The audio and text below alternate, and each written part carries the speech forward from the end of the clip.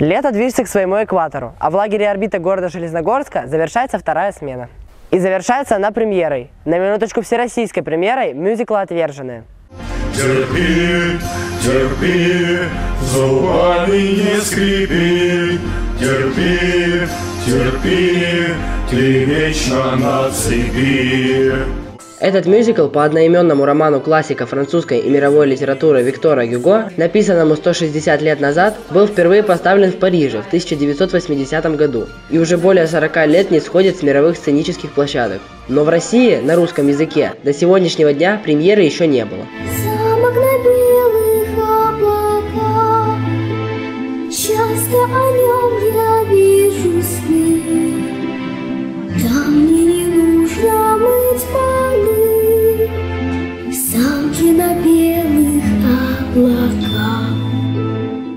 Эта постановка стала возможной благодаря художественному руководителю нашего лагеря «Орбита», творческому человеку, поэту и композитору Александру Сергеевичу Ковалеву, который сделал литературный перевод мюзикла, выступил автором русского либретто и музыкальным редактором.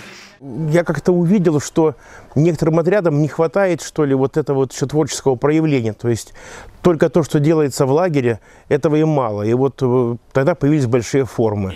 Вот всего за э, 12 лет мы сделали 23 больших спектакля. Еще несколько раз мы повторяли какие-то спектакли. Ну, наша одна из целей, которую мы ставим перед собой, когда занимаемся большими спектаклями, это как раз просвещение, это приобщение детей э, к мировой классике. О чем мюзикл «Отверженные» спросите вы? Наверное, нет смысла пересказывать классику. Но, конечно же, о любви, о вере, о преодолении, о борьбе. Эта история повествует о жизни французского общества первой половины XIX века, показывает несправедливость власти по отношению к народу и стремление народа к лучшей жизни. Я предупреждал тебя, что я буду непоколебим. Дай мне всего час, потом я твой. Я заплачу за все свои грехи. Опять передо мной преступник, который твердит мне о том, что он исправился. Прошу, время не ждет. Взгляни, Жавер, он на грани смерти. Я должен отнести его к врачу. Еще шаг, и ты сдохнешь. У меня была главная роль Жан Вальжан. В чем состояла твоя главная роль? Кто, кто был Жан Вальжан? Кто это? Жан Вальжан – это человек, который был осужден на 20 лет за то, что украл буханку черстого хлеба и потом преследовался инспектором Жавером до конца. А какие трудности возникали в э, подготовке к, при подготовке к мюзиклу? Да на самом деле не возникало трудностей, все проходило легко. А как ты готовился? Много репетировали, смотрели фильм, смотрели французский мюзикл, учили слова. Все.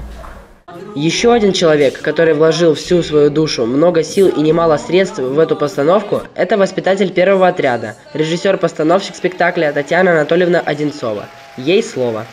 Но из многочисленных мюзиклов это, пожалуй, самый необычный мюзикл. Во-первых, он очень долгий. А во-вторых, э, это военные события необходимо было отразить. И это всегда очень сложно.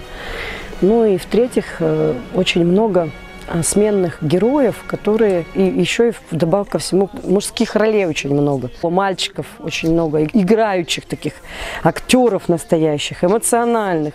И мюзиклы-то и нужны для веры в себя, для открытия своих талантов и для объединения, потому что в мюзикле участвуют дети не только первого отряда, и как в этом мюзикле, а участвовали дети и второго отряда, и третьего отряда.